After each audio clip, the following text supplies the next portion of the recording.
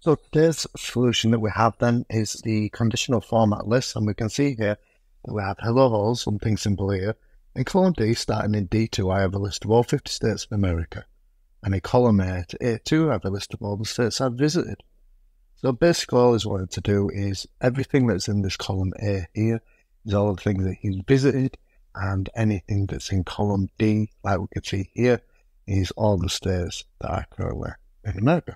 I'll say currently. So we select column A to start with, up to format and down to conditional format, and then we go across. So we can see at this point then that we're working our way down, we need a range. So what we're going to do is delete that out, click the first one at D2, and then we're going to press Control Shift and down, and that will just select all of them. As it's not empty, you can see that it's turned all of them green, but we're going to input a custom formula at this point.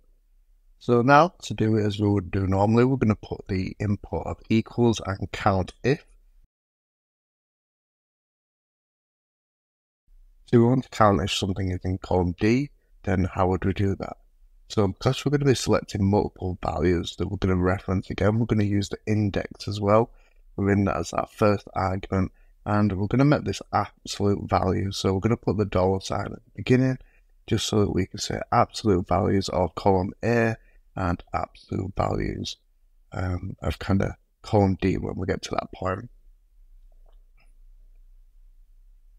So there we have the column A2 to A as we've left it open-ended so more and more stairs can be visited and as it adds then it will just move them along. So we'll put comma for the next argument then as we're now going to use this as the absolute reference for the D2 so we want the reference from D2 downwards at this point, and that will close off the bracket there, and that should get us nicely there.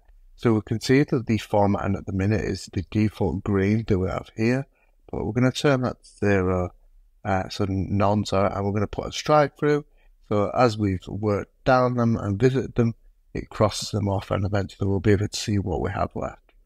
So now you can see that as we add in the states within the column A, it will slowly mark them off and you can see that it's already marked up Iowa and Kansas and Maine as well there.